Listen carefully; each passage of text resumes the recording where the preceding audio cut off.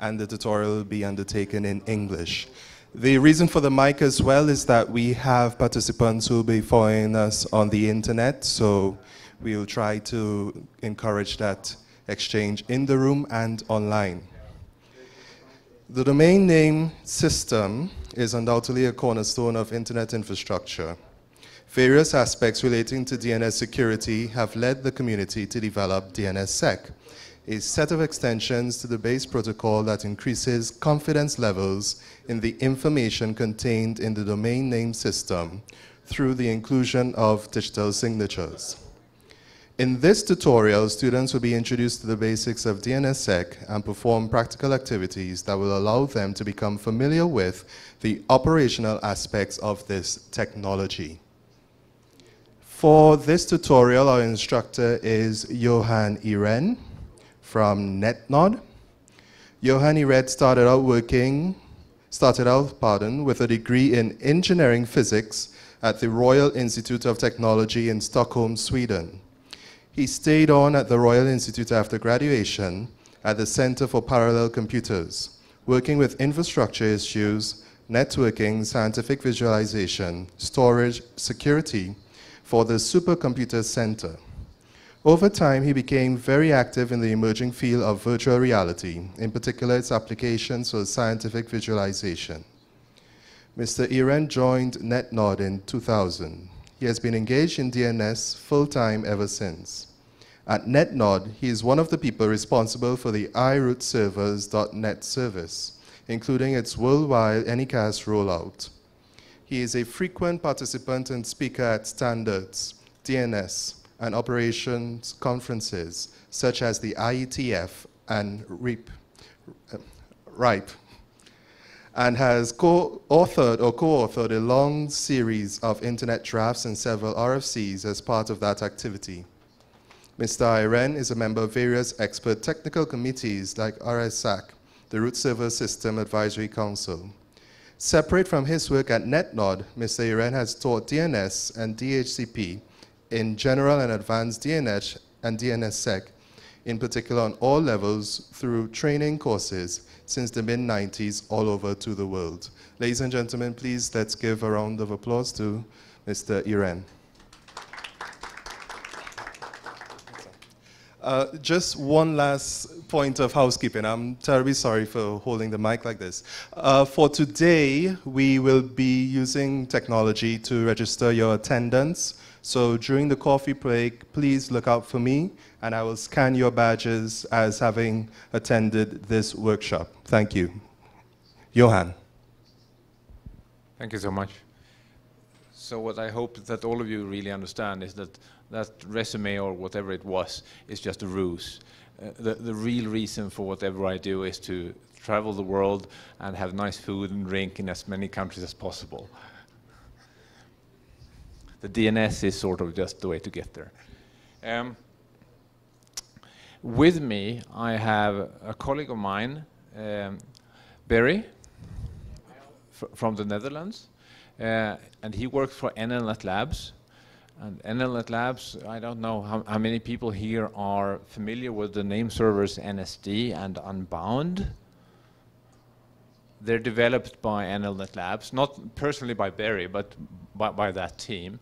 So NLNet Labs is one of the really, really great organizations in this business because they create wonderful software that, for instance, Netnod is using all over the world for the services that we provide that you will be using today during the lab exercises, etc. Uh, so I'm not a coder. Uh, once upon a time I was a coder, but I've stopped doing that. So I, I, I focus on the, the, food and drink part instead. But, but thankfully there are other people developing wonderful software. Um, th this day will be a bit of a challenge. So it will be a, a, bit of a challenge for, for the two of us, but I have to say it will be a bit of a challenge for you also. So there should be fairness in everything. Uh, the challenge here is that a DNSSEC training course usually takes about two to three days. So we had a couple of different options here to fit it into one day. And option number one would be to just take out all the lab exercises and just do hour after hour after hour of me just speaking and speaking and speaking. And at the end of the day, you would be really, really fed up with me speaking. And honestly, you wouldn't have learned much. The other alternative is to keep the lab exercises because lab exercises is where you actually learn stuff when you try it yourself. And that's what we opted to do. But we cannot do it all in one day. So then perhaps we should take out a large number of the exercises and the slides and everything and just keep the, the, bare bones minimum that we can possibly fit into a day. But then the story sort of wouldn't hang together anymore. It will be like an animal where you remove all the meat and there's just a bit of skeleton left. So we decided not to do that either. So this is actually more or less the complete DNSSEC training course with most of the labs in place, almost every single slide in place, etc but we will not have time to look at the details of everything. So here and there, we will skip past stuff. There's just no way around that. But all the stuff is there so that you can play with it on your own. And speaking of playing, another thing that you should be aware of is that when, when we get to the lab exercises, hopefully most of you have, have computers with you, and you will log in over the network to the lab environment, which is a compute, completely separate environment with its own DNS root, and you get all sorts of lab machines, and they are in a virtual topology and everything. And there you will do lab exercises, and everything is prepared for you. That lab environment is available for the entire week. So even if you don't have time to finish everything today, because we will be pushing a little bit here, obviously. You can do it from your hotel room in the evening when you have absolutely nothing better to do, or, or you can do it tomorrow or the following days during sessions that you absolutely do not have to attend to, etc. It's really up to you. The lab environment will be available to you to play with during the, the rest of the week. Um, so, with that said, um, there will be a bit of back and forth here between me and Berry, because it, it, yes, it's me who, who, developed all this stuff, but I will also have to play a bit with, with the lab environment and set things in order, because not, not everything is quite in order yet. There was a power outage tonight, so I have certain things to take care of. Uh, so I will do some initial stuff here, and then Berry will talk for a little bit, and then it will be me, and then it will be him, and then there will be lab exercises. Mix, mix and match all through the day. And your responsibilities here are, among other things, to let us know when it's time for a break. That's very important because it's absolutely impossible to keep track of time when you're standing here in front of a class and you're sort of thinking of several things at the same time. So you need to help me to sort of wave your arm when there is it's time for break. I don't know if there are official break times or we will just do unofficial break times, but I can assure you that we do need breaks. Another thing is that usually when we do training courses, the classroom is organized, how should I put it, in in a less cramped way. So we have more space to move around. So it's possible for me and Berry to come into different students and, and look over your shoulder and help you with, with problems you have. So right now, we don't know how many students we will have. There will probably be a few stragglers that come, and perhaps we lose someone, or we will see. But in about an hour or so, I expect that we will know roughly how many people will be here. And then, perhaps, this is just my suggestion, it's not sanctioned by anyone, uh, perhaps during the first break, we just move some of the tables further off into the distance so that we get more space here in front where you guys are, so that it's possible to move around. Just a suggestion. Um, so with that, uh, let, let me do a little bit of, of talking here. And if this works out.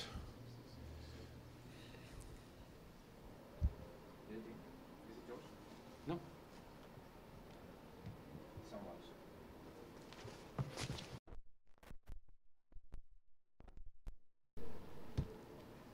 That computer obviously had a function.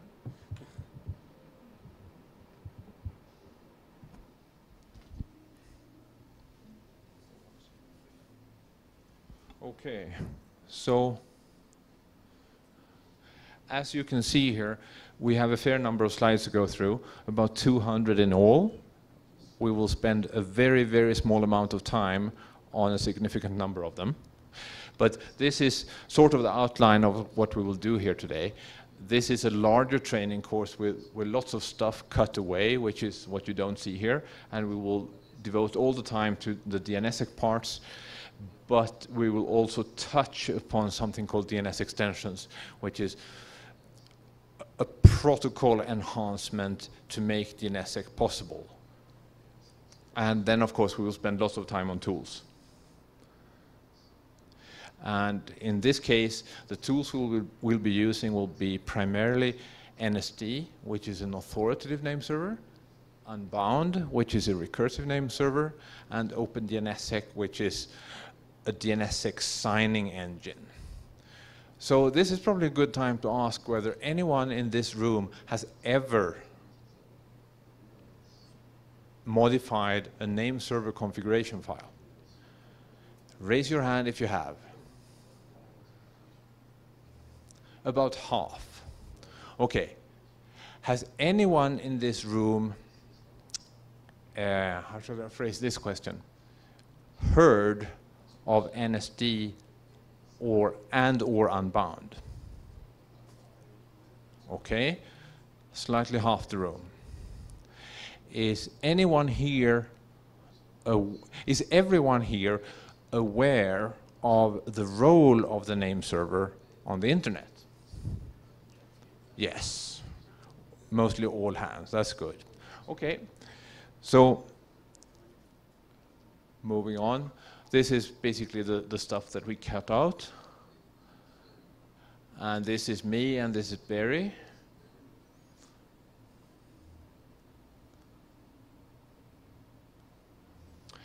And this is where you will be able to pick up the results of your labs afterwards. So typically, your machines, the, the virtual machines that you will be using later today, will see all sorts of efforts on your behalf. You will do configuration work and you will edit files and you will get stuff working in a nice way. Rather than to have to copy that yourself manually, uh, not really knowing how to do that from the virtual environment over to the real environment, I will just make this available on the web afterwards. So I will publish this on, on a web server of mine and you can just pick, pick it up. So no need to, to take any copies of anything while you're doing the labs.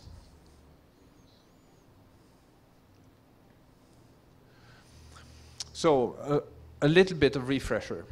Uh, we have the DNS protocol. The DNS protocol is mostly a query protocol where someone issues a query to a server and the server sends back a response. Um, the query in DNS is a tuple of three things. One is the name that you query for. The second is the class, as in the database, where the query is sent. And the third is the type of the query. So for instance, you can query for www.axfr.net, which is the name of one of my web servers, in the class IN for internet, which is actually the only class we're using, so everything is always class IN, and the type quad A for IPv6 address. If you query for that, you will hopefully get a response back which has the answer. But it's not only a question of the answer record. It's actually the answer RR set. So what's the difference between an answer record and an answer RR set? The difference is that the RR set is the set of one or more records that match the query. And this is really important when we come to DNSSEC. It doesn't really matter all that much in standard DNS, but it really matters in DNSSEC. And the reason it matters in DNSSEC is because once we start adding digital signatures to stuff, we sign the RR sets. We don't sign the individual records. We sign the sets of records that match a query. So that may be groups of records. So the RR set is sort of an well, I wouldn't say artifact of the protocol because it's, it's there for a reason, but it's something that you don't speak much about in standard DNS. But with DNSSEC, suddenly it becomes really important. Um, it's a query protocol, message pair, a query and a response, usually port 53. It can be UDP, usually, or it can be TCP. Uh, we are seeing more and more TCP usage for various reasons, but still we, to some extent, prefer UDP for performance reasons.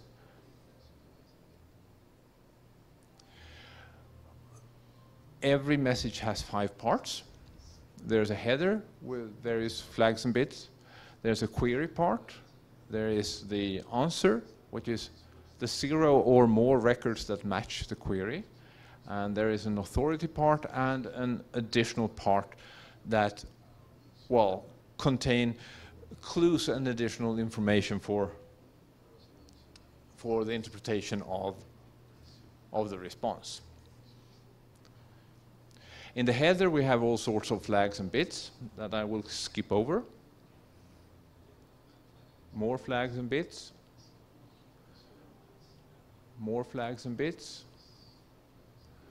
And the thing I will just focus on briefly is the authority section. So the query section is rather obvious. That's where the query is. The answer section is also rather obvious. That's where the answer is. And the answer has to be an answer to the exact query asked. It cannot be any sort of intermediate answer or anything like that. So the authority section has different roles depending on the situation. And if you look at DNS as a tree with a root at the top, and then you have, well, you have SE in my case, or you have COM or NET or whatever, and underneath SE you have something else like netnod.se where I work, etc. So there, there is this tree structure. At any given point, you will be talking to a name server, sending your queries to a name server which is authoritative for some part of this tree. And when you send the query to a name server which is authoritative for whatever part, three things may happen.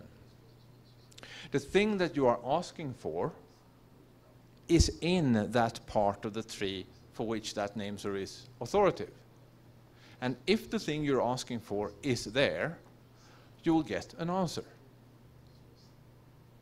Second alternative is that what you're asking for is not there, but it may be further down in the tree because there is a delegation. So for instance, if someone sends a query to the, to the CR name servers, asking for whatever, something further down in the CR hierarchy, when you talk to the CR name server, you will not get, not get the answer because they don't have the answer you will get a referral, something that refers you further down into the tree. So that's the second case. The third case is that you're asking for something, it's not there in the part of the tree that this name server is authority for. There is no delegation so that it could be further down, so it doesn't exist. Either it's there, or there is a delegation, or it doesn't exist. These are the, the three possible cases. And in those three possible cases, the authority section is always being used. So the authority section is part of the corner of the packet that has really large importance when you get further into DNS and especially further into DNSSEC. And we will see this in more detail later on. And here we have a typical query. Someone is querying, typically me, someone is querying for www.axfr.net, type A for v4 address, class IN for internet, and we have an answer in the answer section.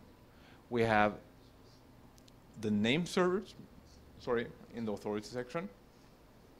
And we have glue information in the additional section. Is this somewhat familiar to most of you? Yeah.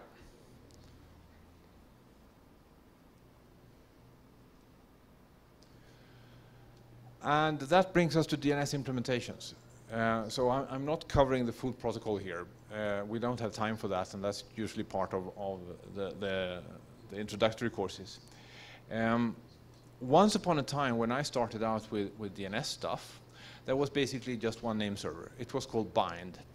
Uh, at the time, it was Bind 4 version something, beta 26, pre-alpha hyper Coke bottle something. They had a really, really messed up versioning scheme, if I put it that way. No one on the internet was ever using anything like a release version. Everyone was using beta this or alpha that, or it was a very strange time. That was before we started seeing security issues with DNS, so you could basically run whatever. But things change, and these days we have lots of name servers, and all these various name servers have various pros and cons. It's typically not the case that there is one, one size fits all, one thing that is the solution to every problem. So you really need to shop around a bit to, to find the right implementations for, for your needs. And when you do this shopping around, at least what I do, I, I want the open source stuff.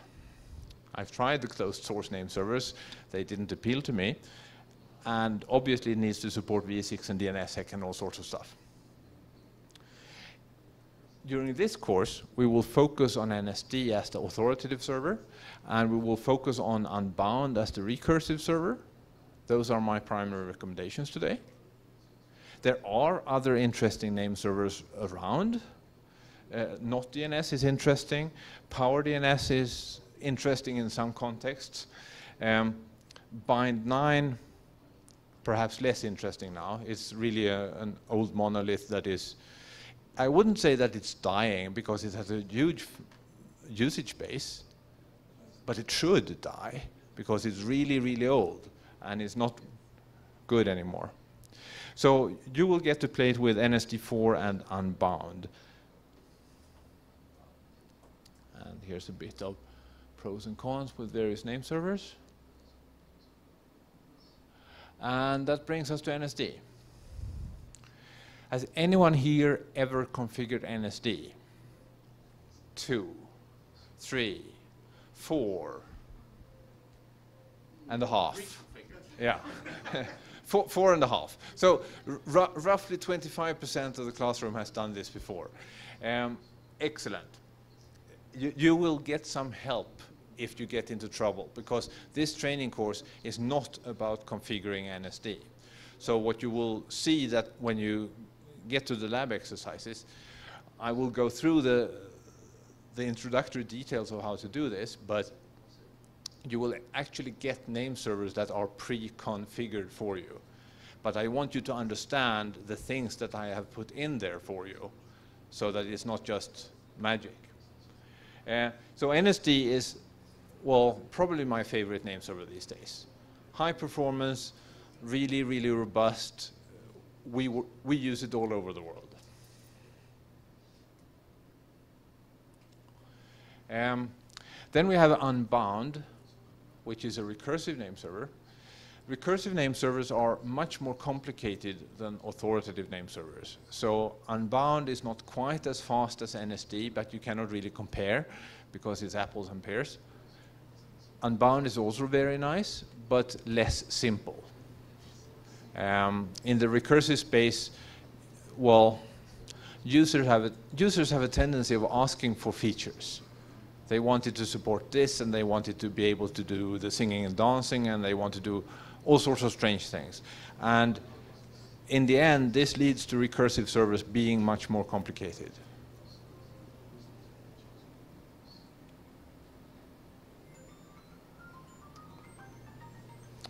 And that brings me to, to the lab environment.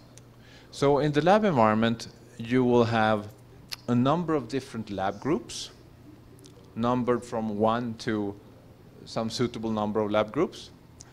Um, each lab group has several machines. Typically, I think you will get three machines in this course, and they will have some sort of of structure. So you will get a master machine, which is your hidden master. What is hidden master? Anyone knows? A couple of you. So a hidden master is an authoritative name server that is not announced to the world at large through an NS record.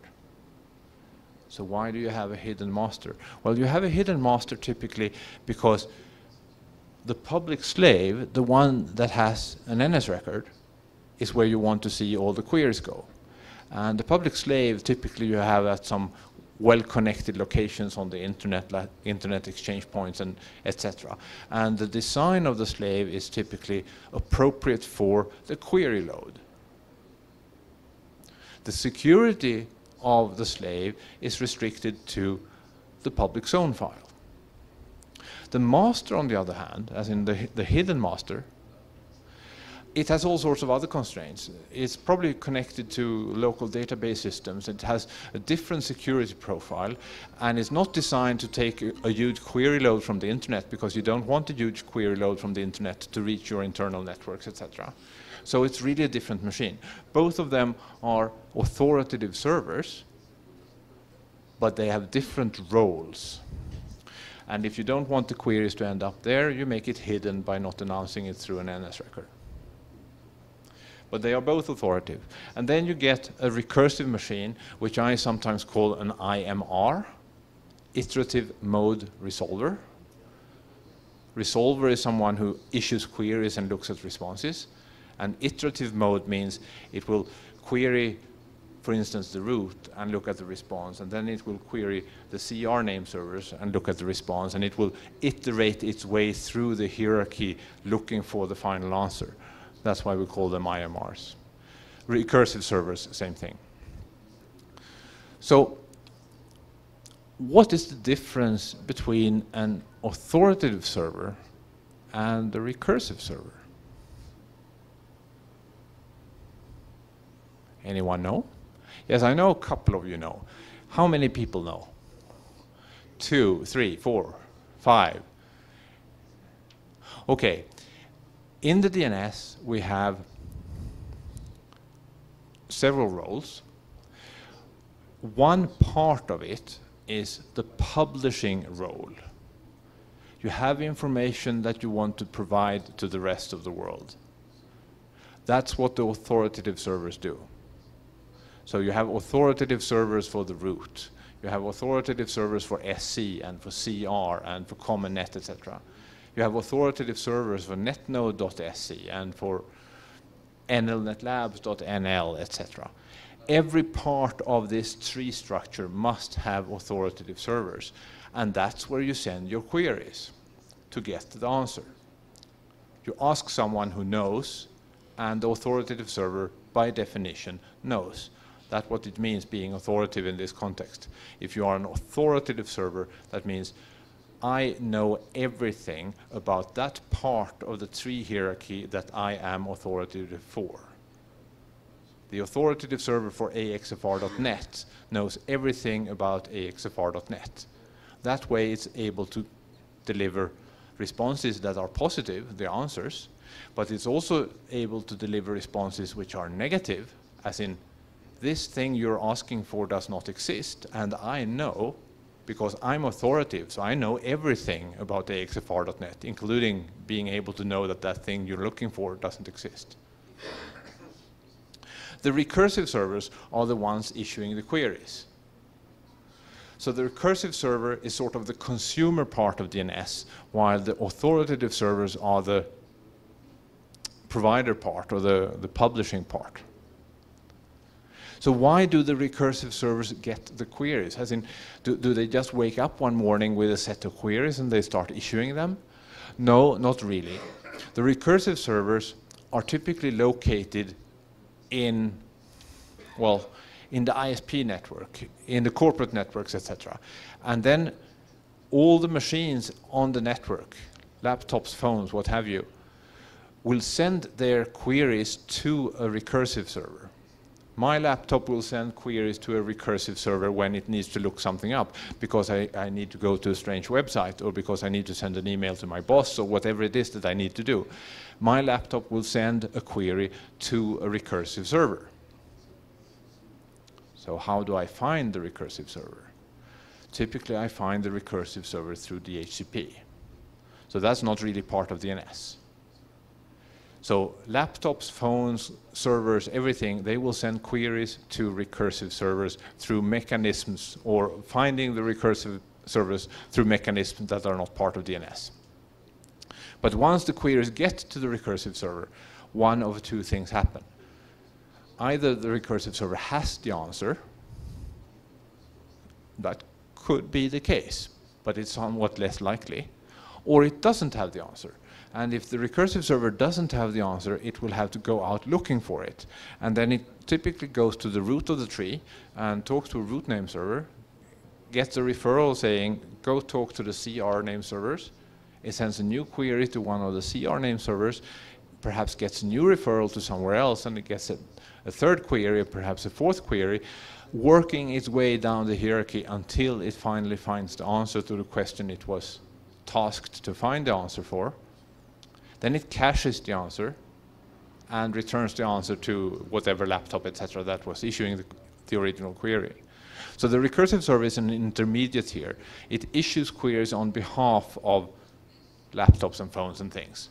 We call these stub resolvers. So there are really three entities.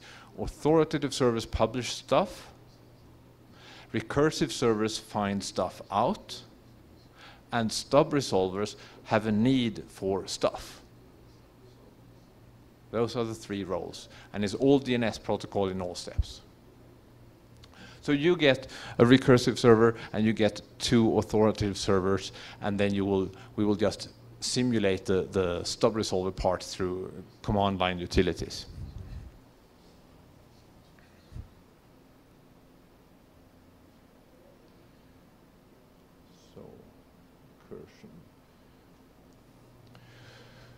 So how do you configure your recursive server? Well, an authoritative server needs configuration of what part of the namespace should it be authoritative for and where is the information that it should use for responding to queries. A recursive server really doesn't need any of that because it will ask for stuff as needed. But it needs to start somewhere.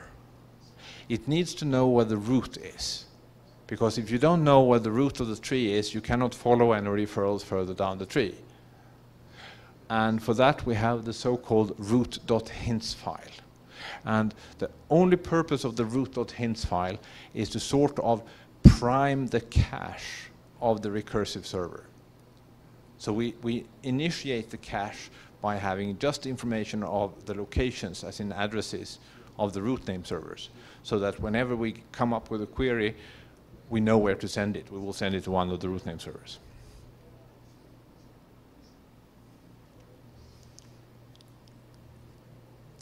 And that brings us to configuration of uh, your recursive server.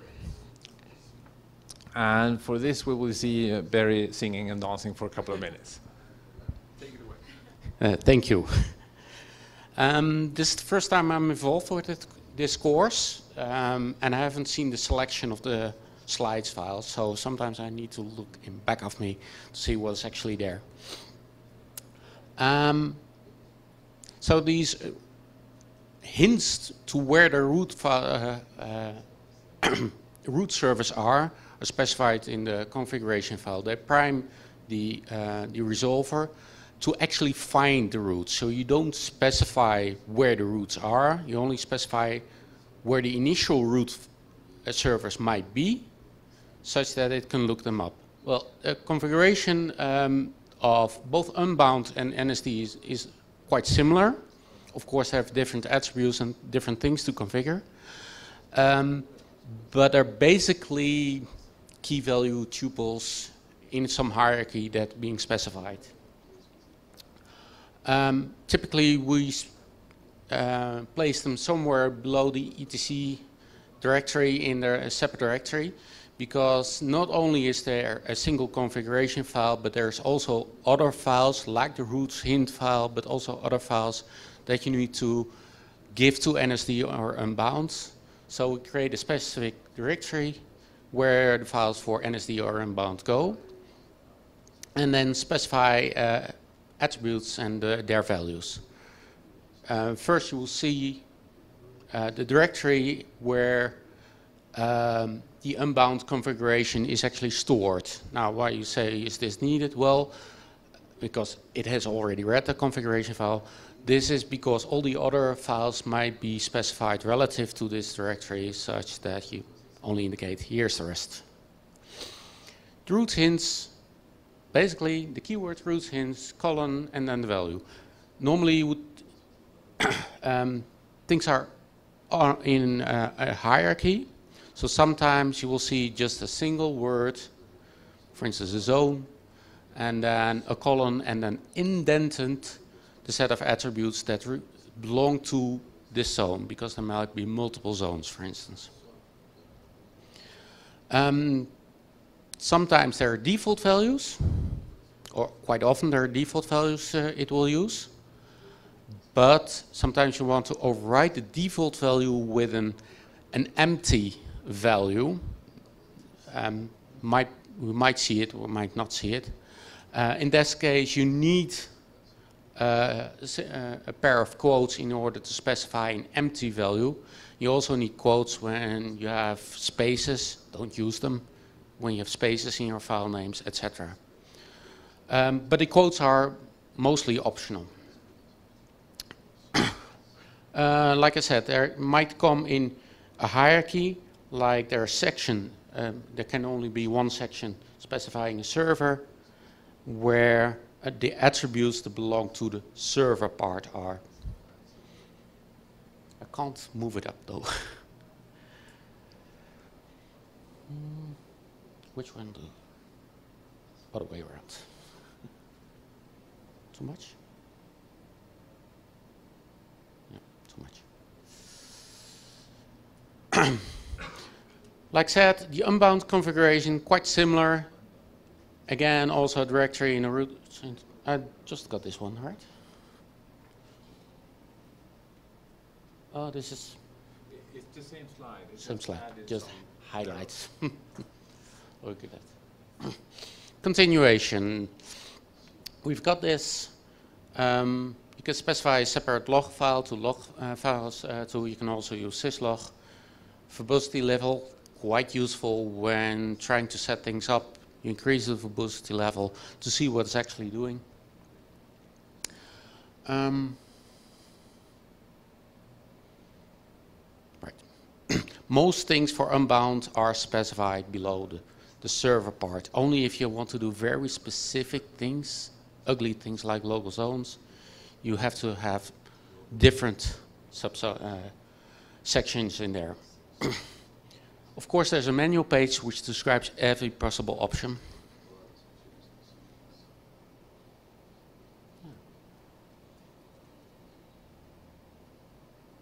I need to get a hang of which side it is.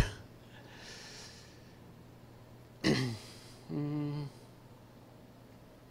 I think those is not really needed. Access control, well, for people that know bind, that are already know, uh, familiar with the access control, it works basically the same like in bind. NSD and Unbound also both have access control where you can use a command line interface in order to reload configurations, add zones, uh, etc. to inform a running server of what to do next uh, which is very useful in a production environment, of course, so that you don't need to restart it. Normally, you would only uh, indicate that this may be from special machines that you trust, where these uh, commands come from, your local internal network, and not allow access from the outside. For now, we're probably going to allow everything from everywhere. And you will see this in the lab exercises that you can allow the control to come from everywhere. By default, it will only listen to the local machine, which is probably not what you want, because then mostly can um, um, so this this is different from bind. Bind normally allows it from everywhere. Here it's actually opposite. It does not allow everything. We like IPv6. We really want people to go to IPv6. Um, so every software, uh, uh, Unbound, NSD, OpenDNSSEC, etc., fully support IPv6, but remember to specify both interface of IPv4 and IPv6 with all IP numbers that are um, configured for it. Otherwise, you will only get access through IPv4, for instance.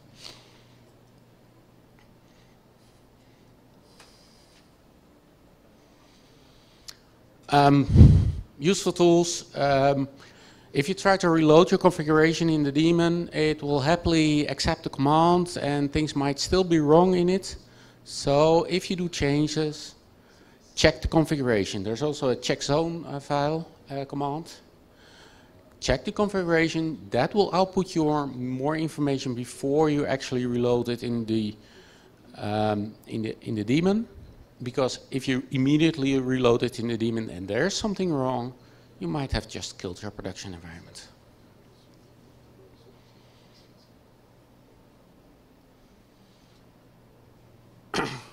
Unbound controller, uh, same uh, thing. Um,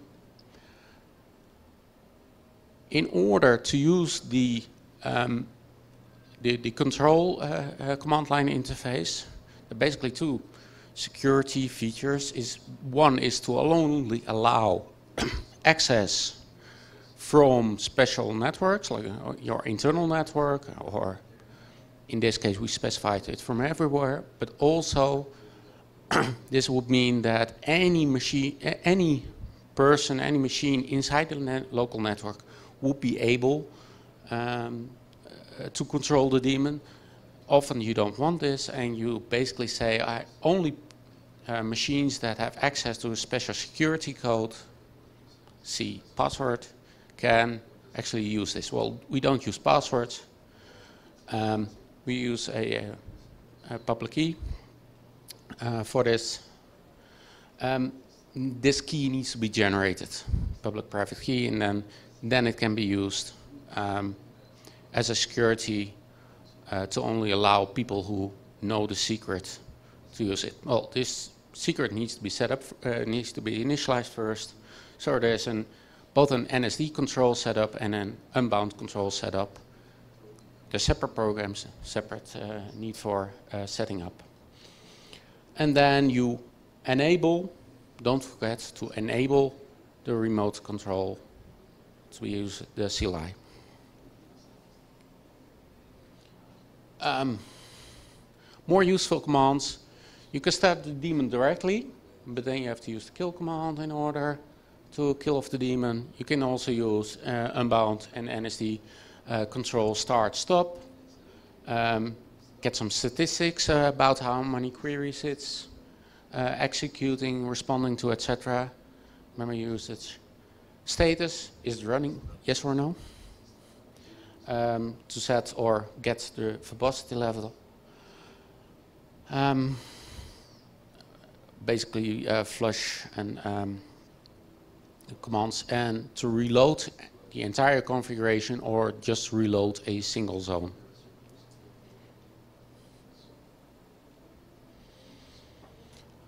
Mm, this brings us to dig. Guess what? Need to use this. Um, there's several tools out there. I'm not really too familiar with KDIG, but I just read it's similar to DIG um, in, in its usage. Um, with, with NLNet Labs have also developed such a tool which is called Drill. You might notice the naming scheme which we try to fun to bind. Um, basically dig, kdig, uh, and drill are used to send out queries to the name service and get in detailed information about what is actually being received. N not just the answer, but also all the additional bits and how it gets to the answer. um, the examples here are with kdig. I, I think it's best to use just dig or drill. The syntax of drill is sometimes a tiny bit different, different flags, etc. Uh, to be used, but they're, they're functionally equivalent uh, and you can use them interchangeably. They can do the same thing. And they respond, they will give the same type of answers. Though drill, dig is slightly more geared towards actually going over the wire, the actual bits. um, so uh, send out an, uh, a question, dig on this name server, go to that name server directly, don't go locally, don't go to default one, go to this one, ask for, this name and this type of record and give me a short answer. Um, like this, I can also mm, already got this one.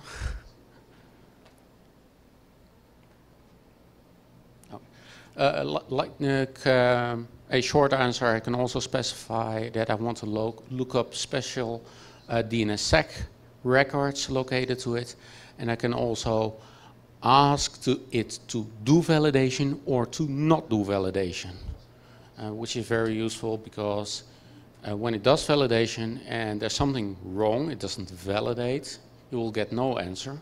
Well, you say, okay, skip the validation. I want the answer directly. You can actually inspect what, why it didn't give an answer, because it didn't validate. Um, uh, logging, you can specify a log file. It, you, it also logs to syslog. you need to inspect those, um, both for NSD and Unbound, but also for OpenDNSSEC. Uh, there are many type of error warning or informational messages that it cannot send to you directly. Um, if you're doing a query, this is bound to the DNS protocol, so it cannot send any additional information. And you don't want it to either because this might be security related. Also, these running daemons might encounter while they're running situations, broken configuration, which had been fine, but is now broken. Um, for a recursive resolver, it might, during its quest into finding the, uh, the final answer, encounter resolvers out there that are misbehaving.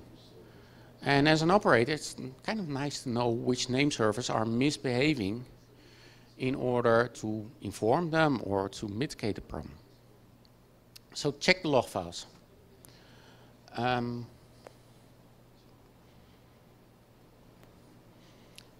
the log files tell you a lot, but also use dig because it won't find problems out of itself. You have to probe which parts are going wrong. And there are also a number of other tools on the internet, some of which are being referred to and, and available to you, which help a lot with investigating where the problems are. Next, NSD Unbound. I think we're getting closer to, to the first lab exercise, so the machines are more, more or less ready. So if we, if we switch to this one. Yes. um,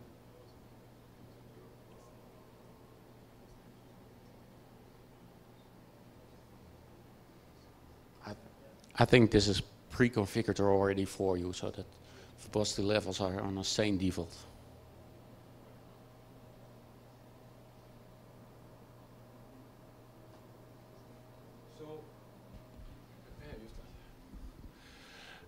So usually we do this in Swedish, but that wouldn't work here. So we, we also we, we also do this in, in English, and that's uh, fairly common.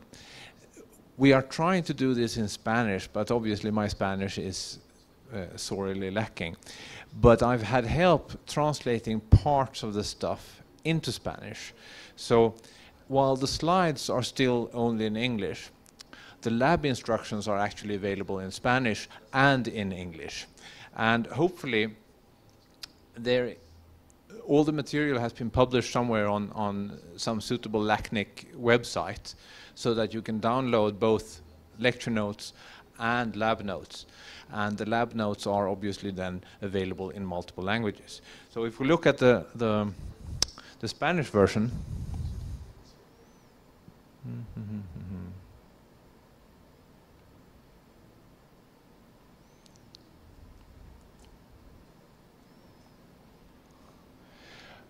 Do you have this file?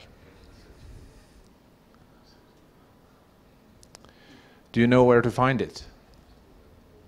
Because this is really outside of my control. The only thing I can do is submit the material and then through magic that I don't understand, it will end up in your various machines so that you can use it. You need to find this file, the Spanish version of the lab notes. And then once you have that, you should basically just follow it. Of course, immediately pointing out to me any horrible language mistakes um, so that I can get those fixed. So there is a table of contents, obviously, lots of stuff we will be doing, a bit of introduction, and then we get to uh, directory structure, the machines you have, addressing. This is really, really important. If you mess this up, stuff will not work. So whenever you are in doubt in any way of what addresses to use, what is the IP address of my server, what is the IP address of my recursive server, etc. Refer back to this table both for v4 and for v6. And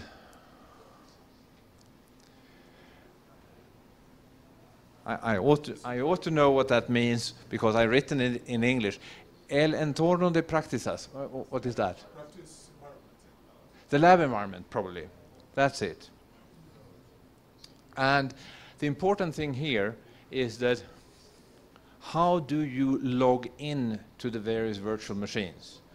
And here it says that you should log in through the machine lacnic-proxy.axfr.net to a special port number, where the port number is 7000 plus the name of the lab group. So if we have lab group number three, you will log in to port number 7003. Lab group number four will log in to port 7004, and then you will end up on different virtual machines. Okay, so how many people are we now? It looks like you are about 20. I have about 15 lab groups set up. I can arrange a couple of more, but my suggestion would be that you mostly team up in pairs. It's not a requirement on my part, but I suggest that pairs are usually a good thing of, of doing this. So especially because I see that some of you do not have laptops with you, uh, is it possible for you to get laptops?